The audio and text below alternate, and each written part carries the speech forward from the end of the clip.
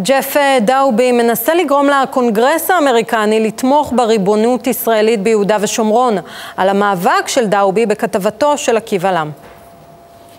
מה ישראל מתכוונת לעשות ביום שאחרי אבו מאזן? יו"ר הרשות נכנס ויוצא מבית החולים והיורשים כבר בכוננות.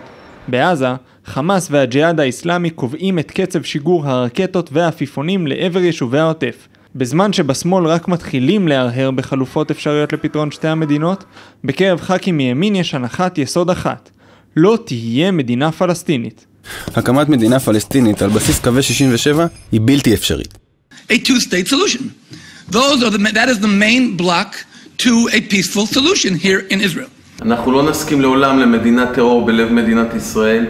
אין ומעולם לא תקום מדינה ערבית בארץ ישראל. פשוט לא.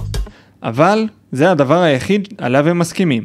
יואב קיש קורא להקים אוטונומיה ערבית, סמוטריץ' קורא לעודד הגירה ערבית החוצה, בנט קורא לספח את שטחי C ולהקל על התחבורה ביהודה ושומרון, וגליק בכלל רוצה שתהיה מדינה אחת בלבד בין הירדן לים.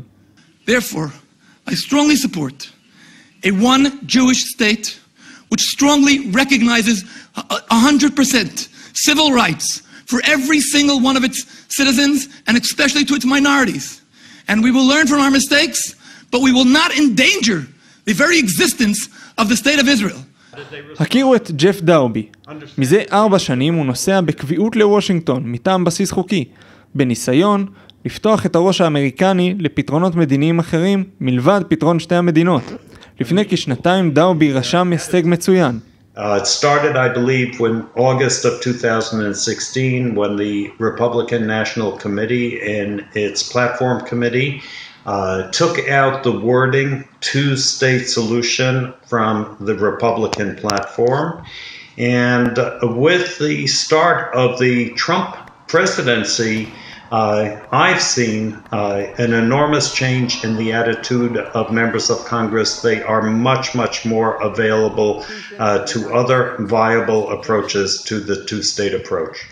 כאשר דאובי הנלהב הציג להם את החלופות שקיבל מחברי הכנסת השונים בימין, חברי הקונגרס התפלאו.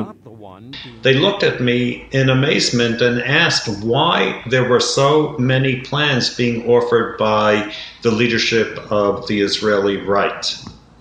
בעקבות כך, הוחלט בבסיס חוקי לקרוא לחברי הכנסת בימין לפעול יחד, על מנת שההנהגה הישראלית תדבר בקול אחד ותציג לאמריקנים ולעולם גישה מדינית זהה.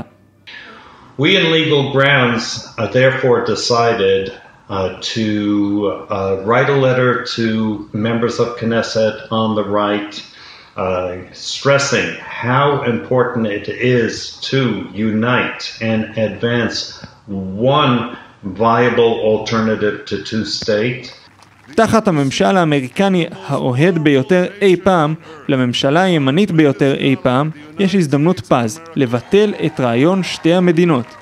אם וושינגטון לא תשמע כל אחד שיוצא מירושלים, ישראל עשויה להחמיץ, וההזדמנות הזאת לא תחזור שוב.